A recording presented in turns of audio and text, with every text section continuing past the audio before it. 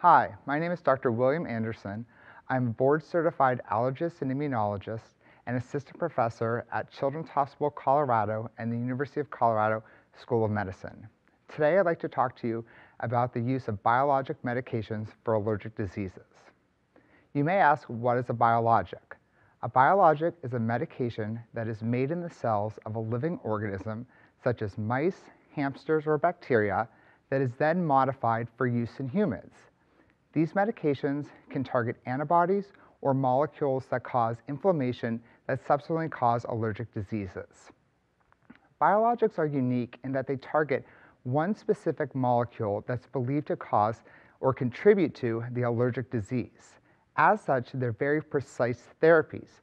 This means that they're sometimes called precision therapies or personalized medicine. Biologics are used in a variety of allergic conditions, including asthma, hives, and eczema. Biologics are typically reserved for patients who are failing standard medications. That might mean they have severe disease that's not responding to your typical therapy.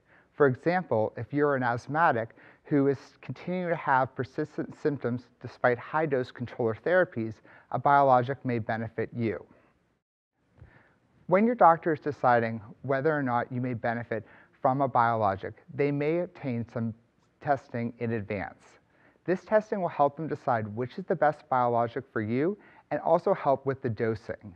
These tests may include skin prick testing for allergies, an IgE level, or an eosinophil count.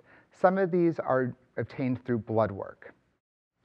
Biologics are unique in that several of them are administered in your doctor's office. They may be administered either as a subcutaneous injection which means that it would be a shot underneath your skin, or as an intravenous infusion, which means the medication may go through an IV.